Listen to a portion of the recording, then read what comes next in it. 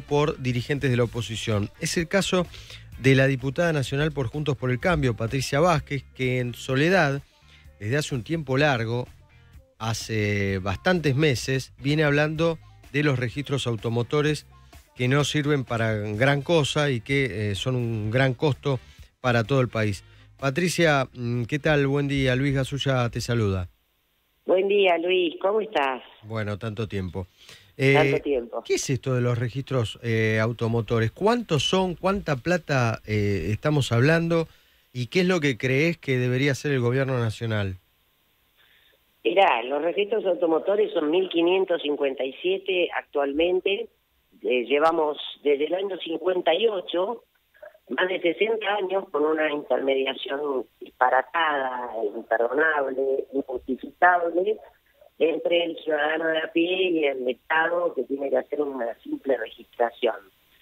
Mueven más de 60 mil millones al año, eh, es eh, mucha plata, la que además queda en el medio con ACARA y la Cámara de Comercio Automotor, porque eh, no es solamente los titulares de registro, ¿no? Son toda esta estructura que hay en el medio y que la padecemos todo, porque viste cuando vas a, a transferir un usado o a comprar un cero kilómetro tenés que dejar entre el 7 y 8% del valor en esta intermediación. Es, eh, es una locura. Fue originariamente siempre una paja política, se regalaban los registros de manera de favor político, como una embajada, y obviamente es una bacanitera, porque además se le dan de padres a hijos, y bueno, yo, como vos bien decís, vengo dando esta batalla hace bastante tiempo, no en soledad, no en soledad, debo decir, por dos cosas. ¿Por qué? Porque fíjate que desde el gobierno de Macri llevamos eh, adelante una transformación aparentemente digital. Y mira dónde estamos hoy, ¿no? Mm.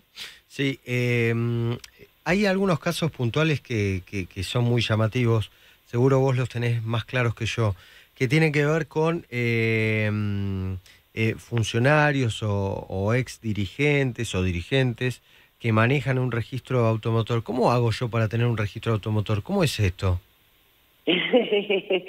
bueno, tenés que ser amigo del poder. Eh, a ver, se supone que hay requisitos.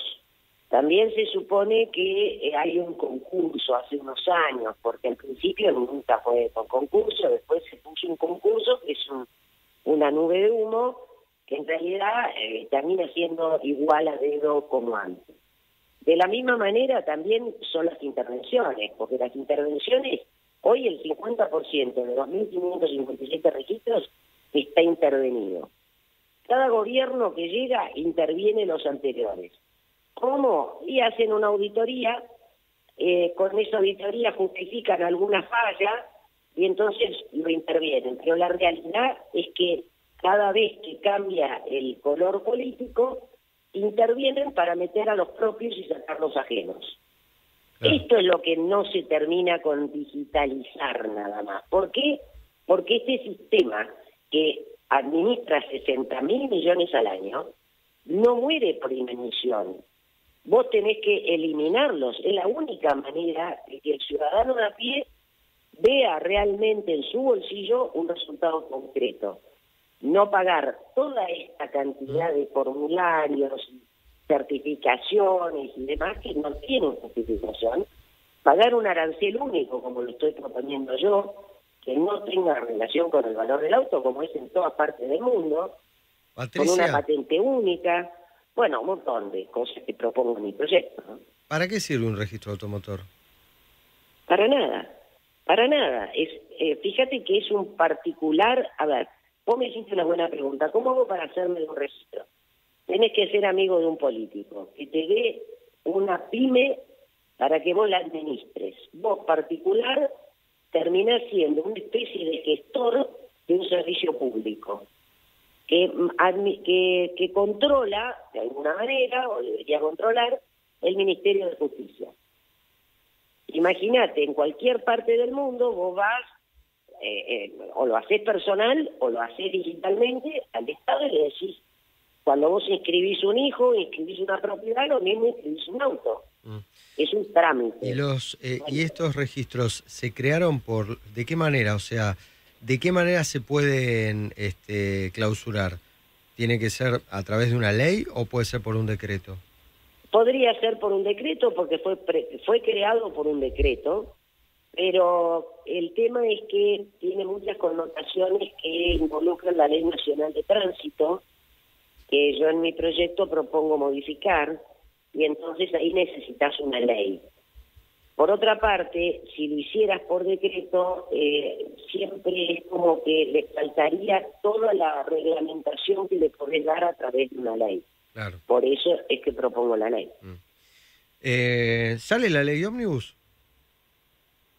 Yo creo que sí, yo creo que sí, ya eh, la, la instancia que está planteando el presidente de, de diálogo, de, de negociación, lógica y, la del 25 de mayo me refiero, ¿no? Que es la, es la que propuso en el Congreso, me parece que va encaminado a eso, porque eh, no, no queda otra tenemos que darle este gobierno las herramientas suficientes para poder avanzar con sus políticas públicas, que además tiene el respaldo del 56% de los argentinos, con lo cual más democrático que es imposible.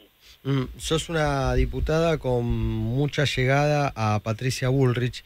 Eh, te pregunto finalmente por este por esta idea de bajar la edad de imputabilidad.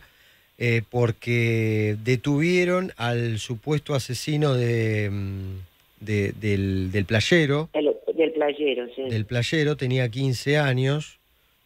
¿Qué opinas al respecto? ¿Se tiene que bajar la edad? Estoy absolutamente de acuerdo con bajar la, la, la edad de imputabilidad.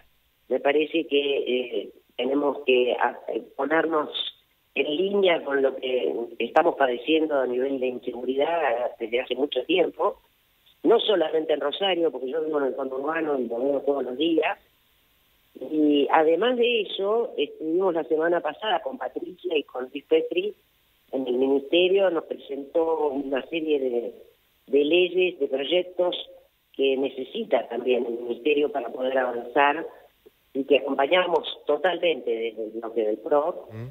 Eh, y tienen que ver con todo esto. A ver, Luis, eh, los, los, argentinos no podemos salir a la calle tranquilos. Esto ya nos recordó llevamos cuatro años de absoluta desidia y connivencia con el narcotráfico y la corrupción.